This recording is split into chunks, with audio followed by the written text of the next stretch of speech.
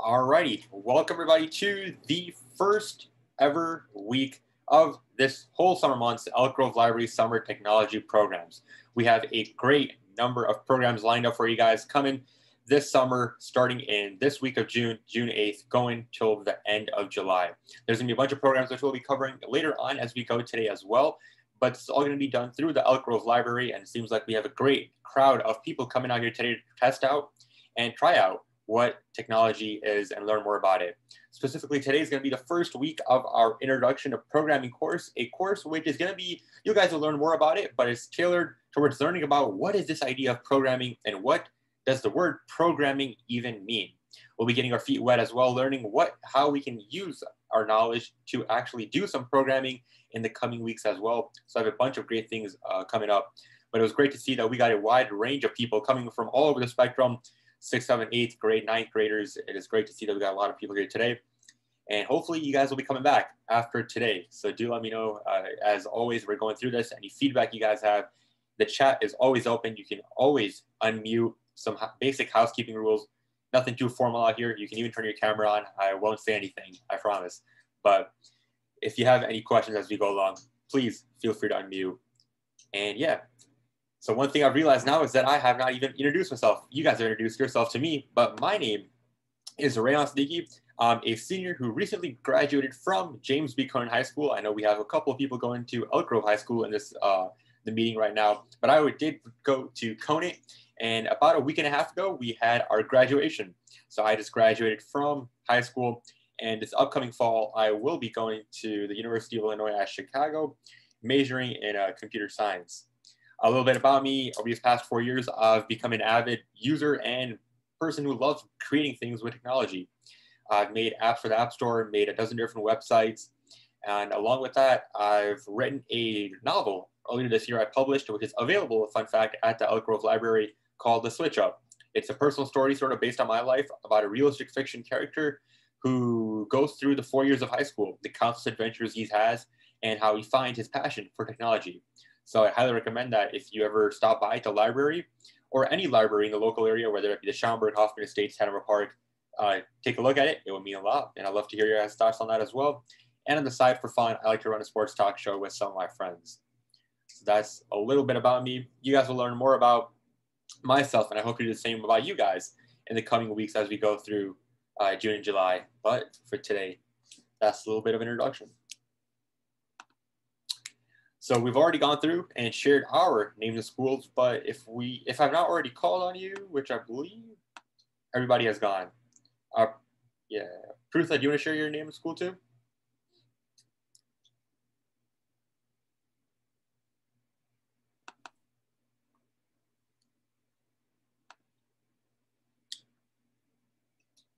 Oh, my bad. I thought we had some people, I guess some people joined late, but they are not here anymore. So we are good. All right.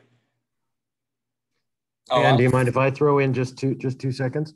Yep. My name is Rob. I am also uh, I also I have a degree in computer science, and I've been using Python for almost 20 years. I love it. It's a useful language, and it's a lot of fun. You can do really cool stuff with it. Well, you know, we got two two brains right here. Go learning a lot about programs. That's awesome to hear. I did not even know that, uh, Rob. So that's pretty cool. Well, a lot of resources that are going to be available to you guys, so nothing to get overwhelmed about. But let's get on started by going over an agenda. So basically, how I like to run these classes is that it's important to know what we're going to accomplish on that certain day. And today is June 8th, and today's agenda is going to be pretty simple. So it is the first day. I want to keep it a bit lighter. Uh, just do some icebreakers, learn more about some details about the program, the summer, discuss our thoughts, and start having some discussions about what is programming and this idea of Rob just mentioned computer science, right? What does that even mean? And then at, towards the end, we'll be starting to talk about how we will approach programming and what we will be learning and how to apply some skills as the coming weeks come about. So you can always look forward to knowing what we're going to accomplish on every third day, and hopefully you have a good idea of what we will be doing now. And before we do dive deeper into our Introduction to Programming course, we do have many of the programs which will be running at the Elk Grove Library uh, this summer. So not only do we have Introduction to Programming, where we will be learning about what the language of Python is about and learning about some of the fundamentals in programming, But also we have different courses such as Introduction to Web Development, which will be happening next month in July, where we will be creating websites and products in a different language called JavaScript, but that is for another month. This month's focus will be Python.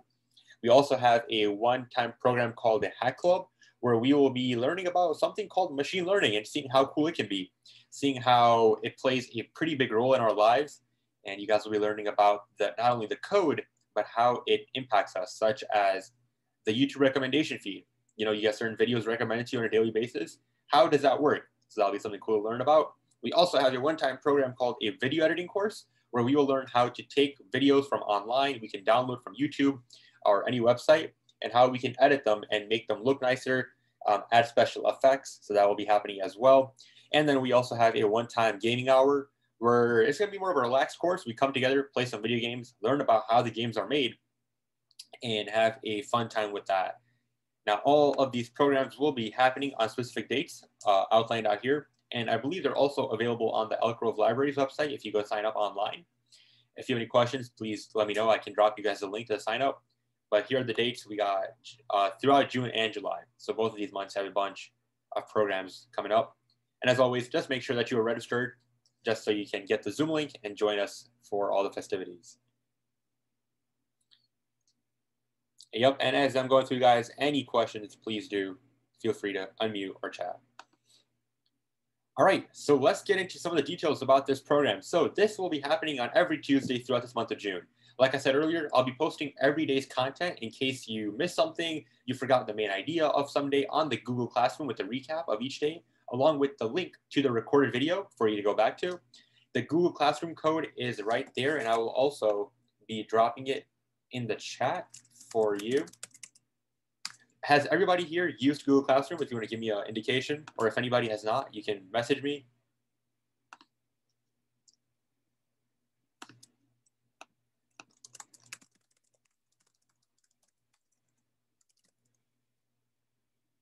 All right, so here is the link to join the Google Classroom. If you hit that, if you have a Google account, you can use your or your parents and you can simply go ahead and join our classroom. And then there you will see all the updates from me uh, from each week.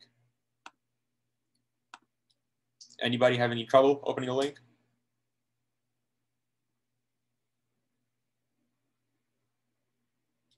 No. All right, great. I'll give you guys a minute just to get logged in. Just got to hit the link and then I believe just hit enroll. And then I already see some people starting to join uh, the classroom, which is great.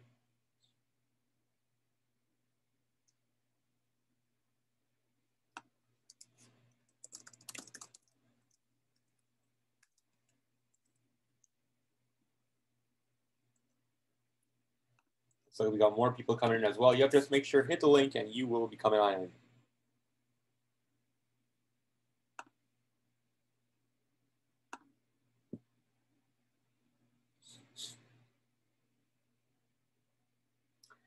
Yep, so the Google Classroom will be used in order to house all of our resources. So if you guys go over to the classwork tab, uh, let me share my screen. That's easier for you guys.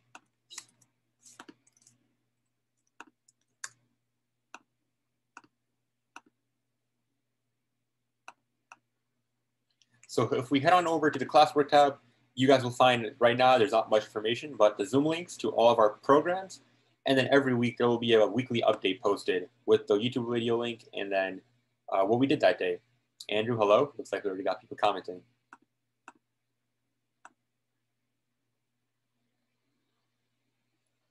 All right, so if you guys do have any further questions about the Google Classroom, feel free to message me or speak up. But uh, at this point, I think we have a bunch of people coming in and hopefully the rest of us will be coming there soon as well.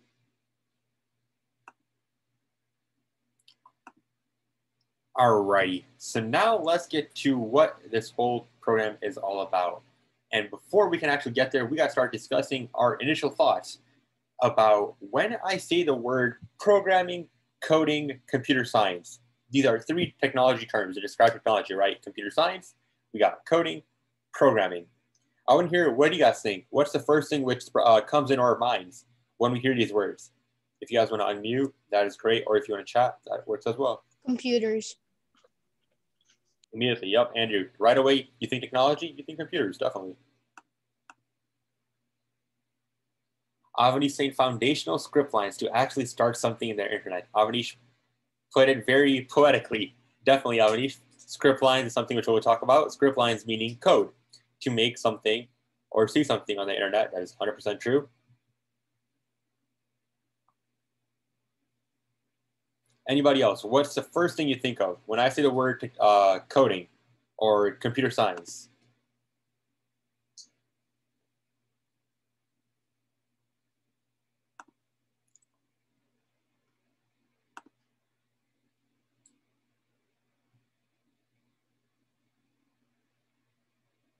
Kyle saying programming. Yep, definitely.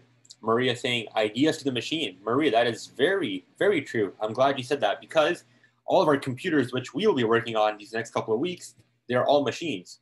And we will have to learn how to communicate with our machines and how we have to be specific to the machines that we're talking to, how we have to tell the computer to do certain things so that we can get the output we want.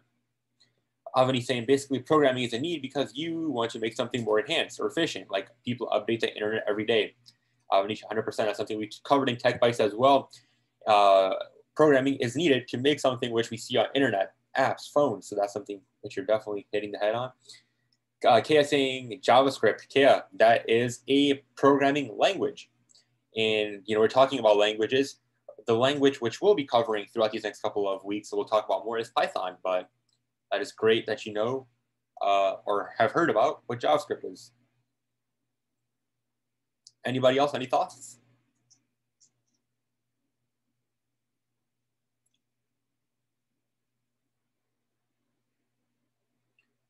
Minecraft is made from JavaScript. Yep, it is made from JavaScript, Avanish, and also a little bit of Java in different language. We'll talk about what languages mean, but definitely. So it looks like a lot of us here have somewhat idea of things we think about when we first hear these words of coding technology, uh, computer science. So it is a great foundation and we'll be building more upon of what this is as we go along.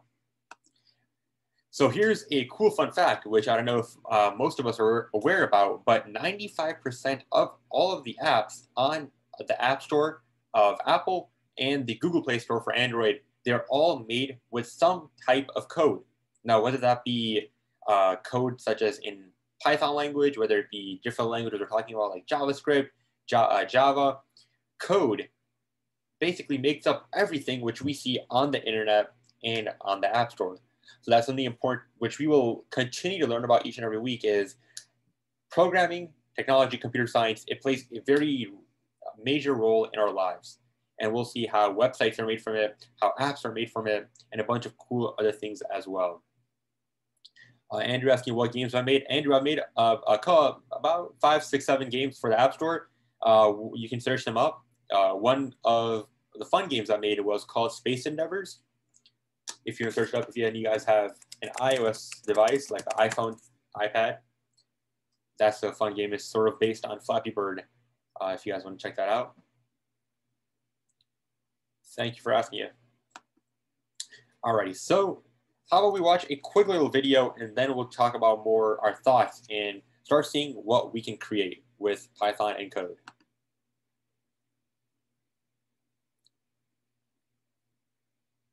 Isn't computer science just study of computers?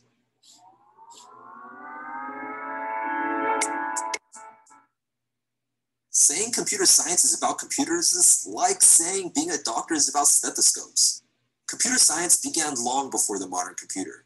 In fact, computers began long before the modern computer. We've always had tools like the abacus, but the word computer was used as early as the 17th century to describe people who completed calculations by hand as a profession. During World War II, most of our human computers were women, and some became our first computer programmers doing work that was critical in determining the feasibility of the hydrogen bomb. Science depends on observations of the real world and follows the scientific method. So computer science isn't really about computers and it isn't even really a science. If that's the case, then just what is computer science? Well as the study of data and computation on that data. In other words, computer science is about solving problems and how to solve problems better and faster. Let's look at Super Mario Brothers. Not making it, playing it. We have the main character Mario who can run and jump through a level. The goal is to get to the end and touch the flagpole, but there are a bunch of obstacles in the way. Let's think of some interesting questions. Like, does this beat the level? Can I even beat this level? How do I win? And what is the fastest way to get through here? Let's look at the first two questions. Do these moves win? And is this level even beatable? Suppose someone claims to have a way to beat a level. It's pretty easy to tell if they're telling you the truth. All you gotta do is watch them play. They beat the level and they were right. And if they didn't, they lied to you. Can we just as easily figure out if a level is beatable at all? We know that there's a dumb way, just try all the possibilities, but you'll be sitting there playing Mario for a long time. Can we do it faster? It seems simple enough, but this question is known for being one of the hardest math problems that still doesn't have a solution. Answering this question definitively comes with an award of a million dollars. So, who really cares about Mario? I mean, it's just a game, right? Well, what if I told you that hard Mario levels are all that stand between a hacker and your bank account? Don't believe me? Well, we rely on something called encryption to protect all of our digital information. Most encryption relies on the fact that breaking a number into its prime factors is hard. But if we can easily determine if a level is beatable, that would also mean that prime factorization is easy. How these two are connected is a topic for another time, but studying these types of problems helps us to see the underlying way in which problems are connected. So computer science isn't all fun and games. It's vitally important to the world we live in, especially as everything in our lives becomes increasingly reliant on computation. Computer science is sequencing the genome so that we understand more about the human body. It's creating robust tools and realistic effects to allow artists to tell stories that they've never been able to tell before, and maybe even in brand new virtual realities. It's giving you access to the entire world's knowledge at your fingertips. It's bringing you closer to that long lost friend that you would have otherwise never seen again, and creating a platform to let anyone share their ideas. It's finding ways to reduce our carbon emissions to preserve this earth for future generations. It's learning what lies in the next frontier and maybe even taking us there one day. Computer science is a lot of things, but ultimately, it's about solving some of the toughest problems to propel us to the future. All right, that was a quick little video, which does a great job. I would like to see it uh, encompassing what the potential is with this idea of computer science and what we can accomplish.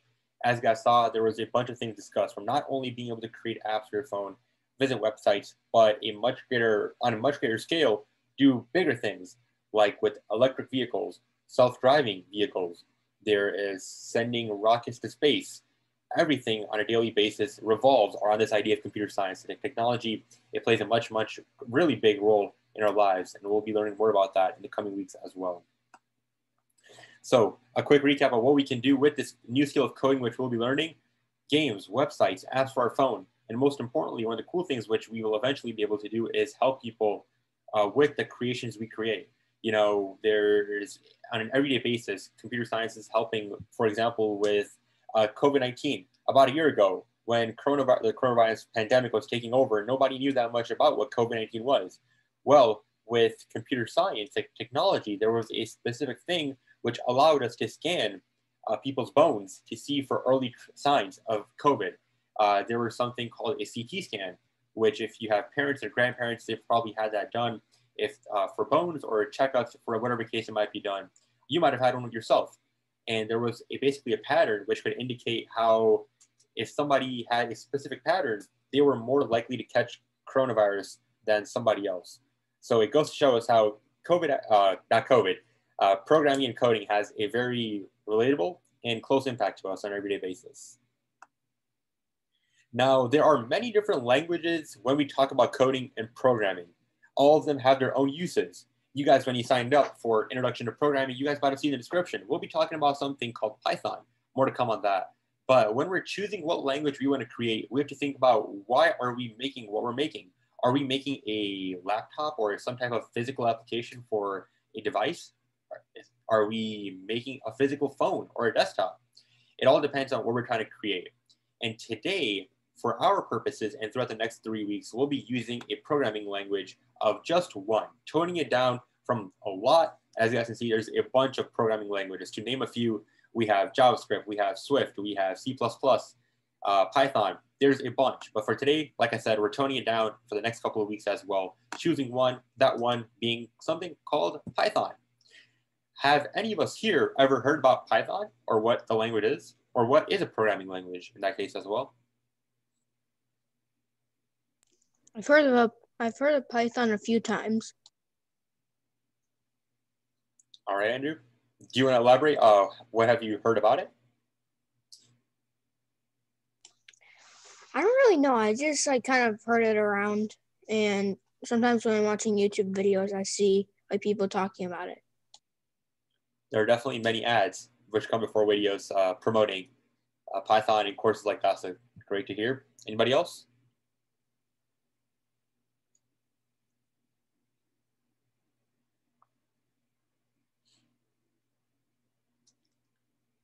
Avanish, we've covered Python, right? Yeah. Anything you want to share? Many parts of, yeah, like many, many parts of just how starting to understand what we want, like how we achieve it, and like those terms, like what you need to achieve it, and how do you, just like the format and how do you write it. Yep. So throughout these next couple of weeks, for introduction to programming, we'll be focusing on more of the fundamentals of learning what specific things are and looking at block code and how that plays a role, and then eventually making a transition to typing out code. But for this week, we'll be messing around with and seeing how block coding is similar as well.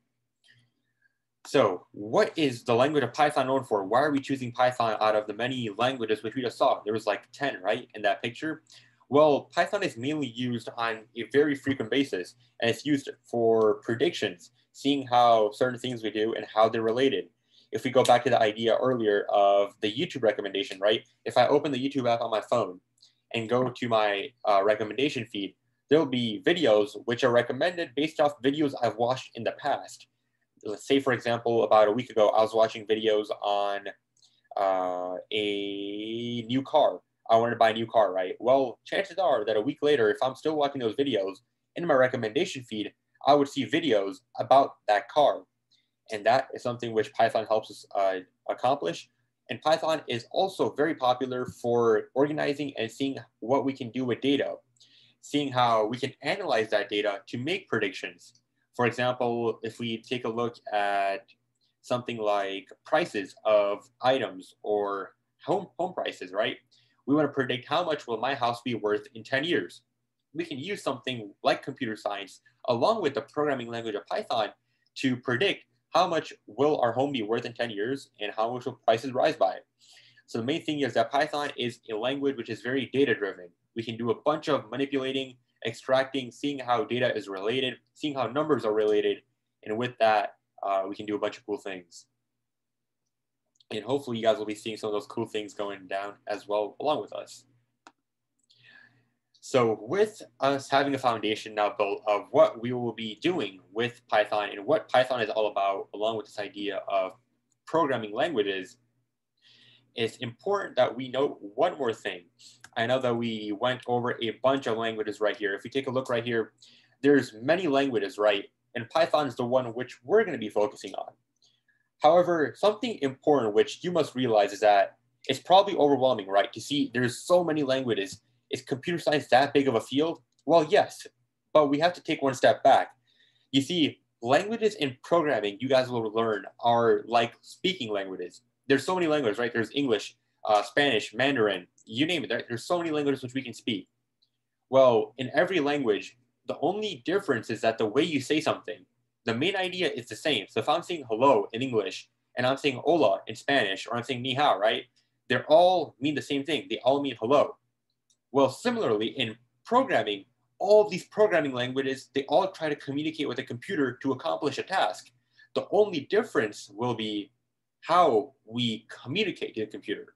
Are we going to write something which looks a bit different to the computer? And that's something which you will realize between Python and JavaScript.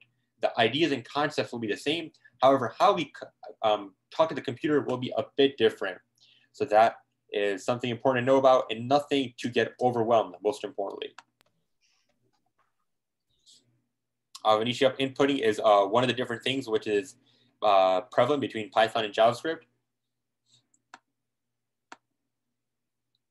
Definitely, definitely. All right, so let's talk about our schedule for this upcoming weeks. Today, it was just introductions, learning about more what this idea of computer science is and technology and different programming languages, learning how we'll be focusing on one called Python.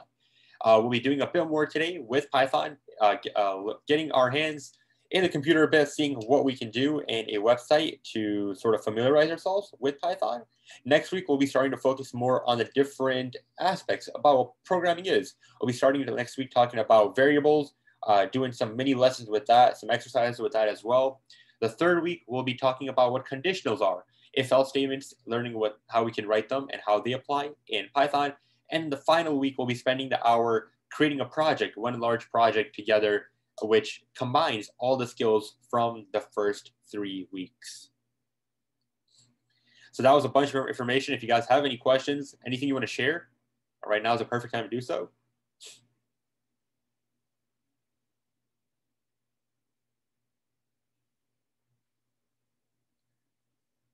Right, the floor will be open as we keep on going. But for now, how about we get started and see how we can, what Python is, what coding is and what block code is as well. I'm going to be dropping a link to a website in the chat. And if possible, if you guys have two separate devices at home, it would be great if you could open it on a different device. If not, that's totally fine. You can minimize Zoom and go to the link I'll be putting in.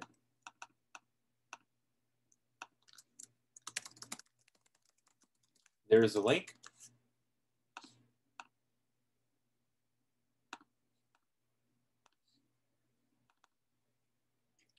And as we will be getting onto the link, you guys can just say continue and then be sure to select the Python 3 option. Python 3 means that we're on the third version of Python. Uh, just some differences. Python's like any language, you know, we're talking about English, there's new words, right, which are introduced in the language uh, on a yearly basis. There's new words added, right, which mean different things. Like in English, Python has new features added, things with coding, which uh, gets updated every year. And right now we're on uh, three point something. So that's good to know.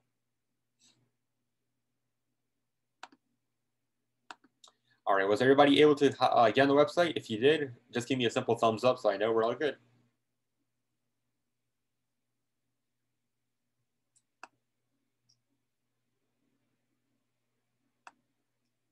Great, great, great.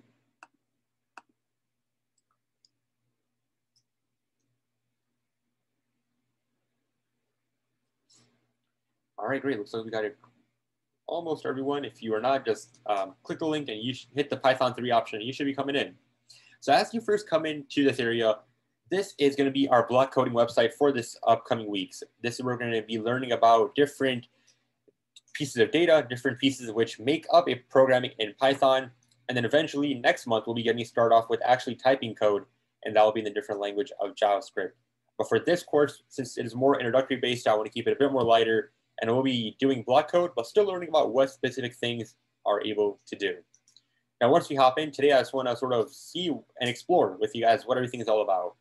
We have a bunch of different tabs on the left, and this middle area is going to be our workshop area where we can drag and drop blocks in order to uh, make things happen.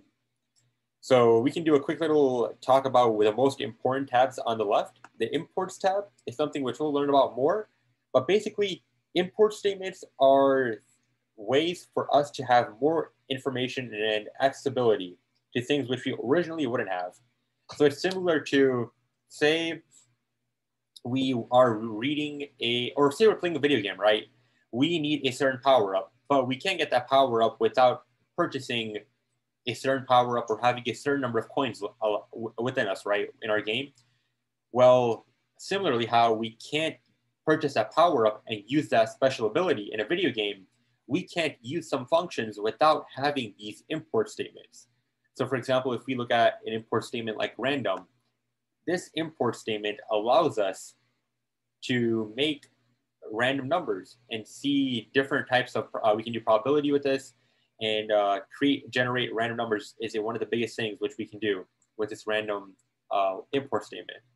Now, import statements are also referred to as libraries or modules, but that's something which I do not really want you guys to focus on. It's just something neat if you know pick up upon. It's similar, like I said. We'll be talking about many analogies as we go along the along the weeks because I think analogies are the best way to relate. So import statements, you can think of them being like a special power up. If we have them, we can do many more things in our program. All right, so next week we'll be talking more about what variables are. So stay tuned for that. But how about for right now, we go ahead and do one of our first ever programs or write one drag and drop one line of code. How about that, right? What I want you guys to do is go to the statements tab and drag and drop the print statement. Now, what if anybody had to take a wild guess? What do they think this one line, this one block does? What does it tell the computer to do?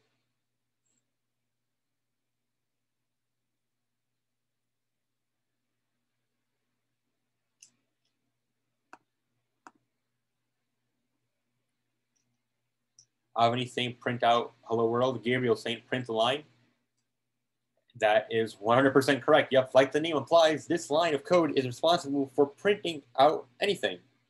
So if I hit print saying uh, it gets it to write hello world, yes, it does.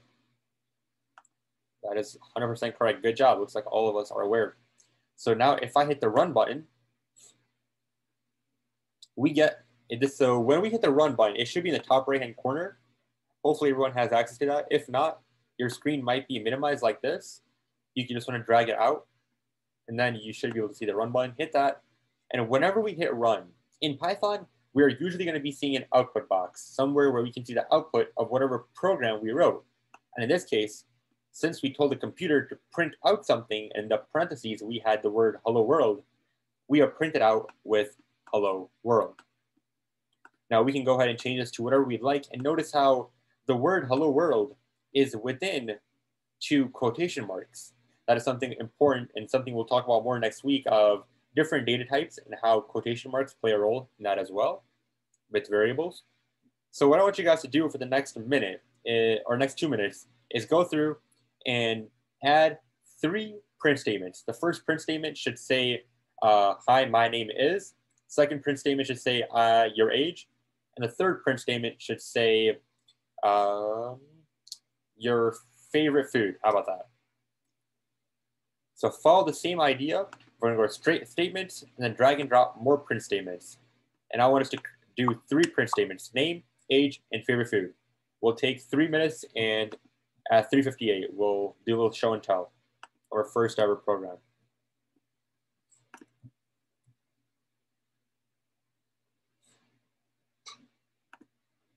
Everybody understand the instructions?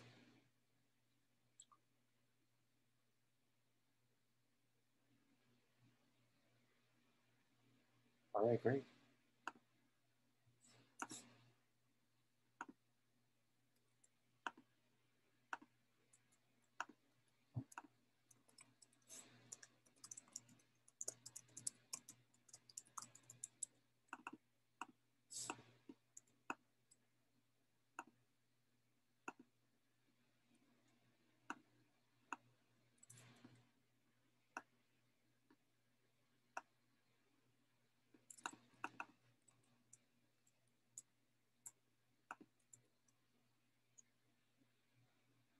Yep, so three print statements, our name, age, and then our favorite food. We're changing the text of the print statement to be whatever uh, pertains to ourselves.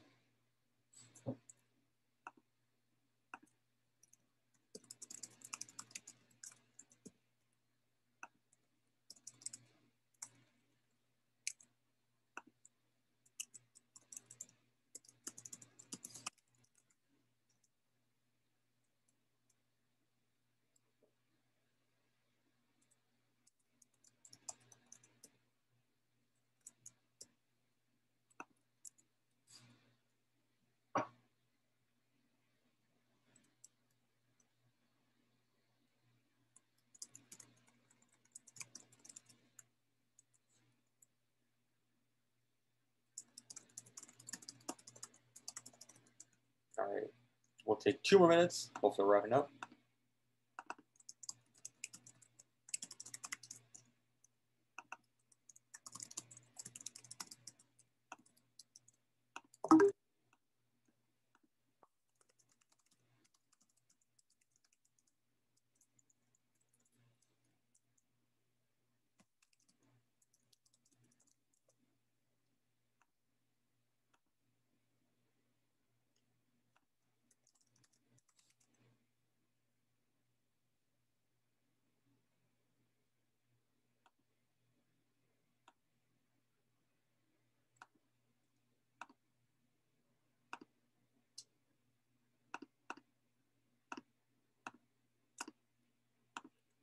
We'll take one more minute.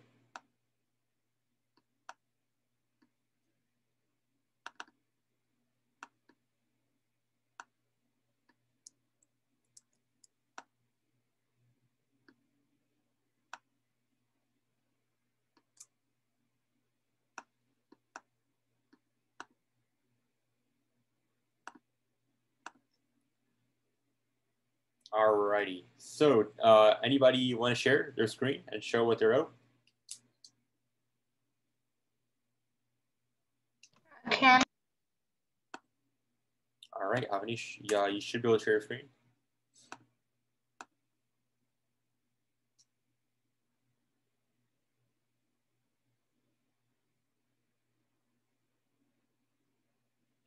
All right, so there we go. Yep.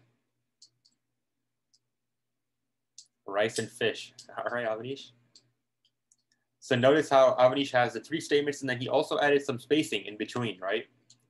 Uh, to make his statements look nicer. yeah. Thanks for sharing, Avanish. Anybody else?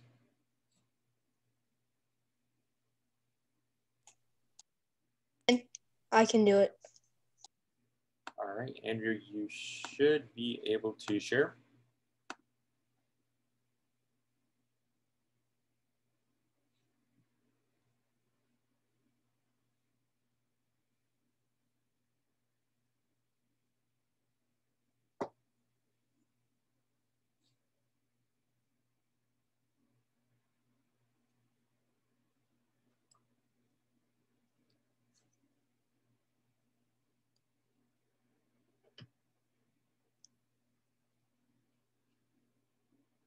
Yeah, it isn't working. That is totally fine. Anybody else want to share?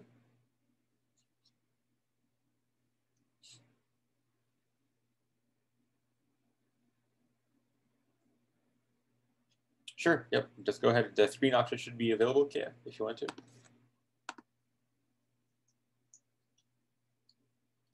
Uh, you do not need to sign in to the website. You should not have to create an account, I'm pretty sure.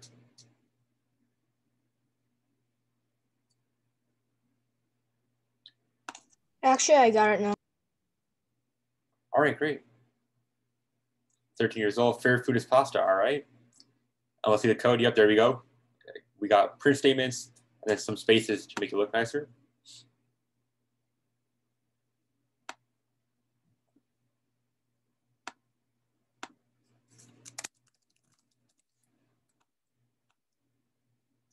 All right, we got Andrew, 11 years old, shot hamburgers. Yep.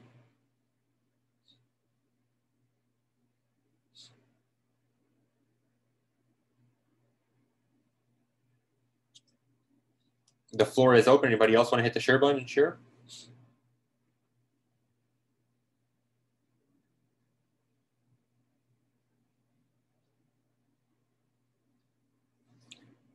All right, that's totally fine. I'll share my screen as well. There we go. My name is Rayaan, you guys know. I'm 17 years old, and my favorite food is some deep dish pizza Ether Giordano's, you cannot beat that, in my opinion. So if I hit run, like you guys, I will see an output there as well. Now, this week, it's sort of right now, is just we want to mess around and see what else is available to us. So now if I go into, say, uh, we can just, uh, without even knowing what these things do, we'll learn about what these do. But say if I go to a for loop, what this is, if I drag and drop all this code inside of the for loop, and I change this number to an actual number, look at how many times we'll have stuff printed out to us. We got the same code printed out 10 times. That may or may not foreshadow what a for loop does. Anybody already know maybe? Uh, I know we have some people here who know what a for loop is. Anyone want to give some hints? You just like um if you just want to like repeat it, I think I just saw Rayaan did it firsthand. Like he put i in range 10 and it just popped up 10 this might be useful if you create a array or something and you want to pick out something from an array or you just want to pick one and keep repeating it. Definitely, Avanish, using that knowledge from Tech Bytes, that's 100% correct. For loop is something which we'll talk about in our third week before we make our project project in the fourth week. But a quick uh, little teaser, I guess, a for loop is something which allows us to do something, uh, do an action multiple times without having to write the same code that number of times. So instead of me having to write the, these three lines of print statements 10 times, that'd be 30 lines of code. Now I can just use a for loop and print out the same thing 10 times. Gabriel, jumping ahead too, saying a function that repeats itself to how many times uh, to run it. 100% Gabriel, that is definitely right. We can write how many times we want code or whatever we have written inside our for loop to run. And then we can see that repeated action go down. That is definitely right. We have some other things as well, which we'll be covering a lot called list. These are a way for us to hold many of the same variables, that term again, which we'll be talking more about next week in one area. So stay out for those as well. And in the next couple of days, I would highly recommend if you want to go back and go through uh, just dragging and dropping different things, seeing what they do, forming your own ideas.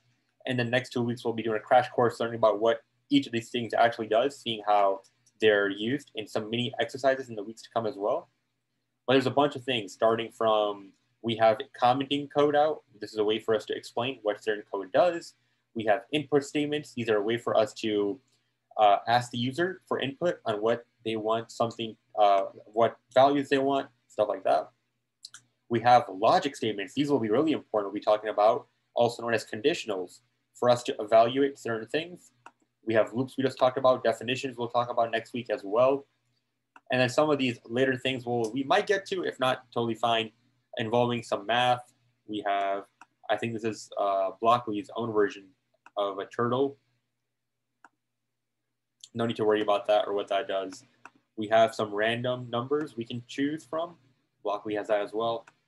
And then some processing things. So main focus for us, if you want to do spend some independent time going through uh, adding these different block statements, seeing how they intertwine. Go to variables, statements, logic, list, and loops. These will be the main things. Uh, but in the next two weeks, before we get to the fourth week of making a project, we'll be covering a great number of things. And as a little hint as to what we'll be covering, next week we'll be going over uh, what functions are along with variables, doing some exercises with that. And then in the third week, we'll be going over if conditional statements along with uh, loops seeing how those intertwine as well. Anybody have any questions to this point?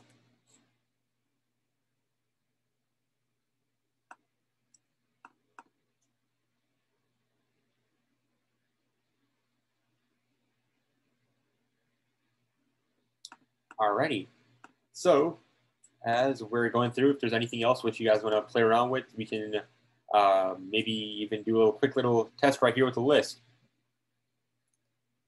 Uh, so if I drag and drop this, it's all going to be drag and drop based. We can print out the list. And actually, we're not going to get into the, the, list. We'll hold off on that and we'll talk about uh, recap this week and then next week as well. So that's a little bit of a sneak peek, I guess you could say, for the next coming three weeks on this website of what we'll be doing and the different elements which we'll be playing around with. And a cool feature about this website is that you can save all the work we do. So I'd recommend that if you want to, be uh, definitely create an account with uh, EduBlocks the website and then you can save every week's progress we make so that you also have a copy but i will be posting a link to the code each and every week for us uh, who miss the code or we're not able to get something down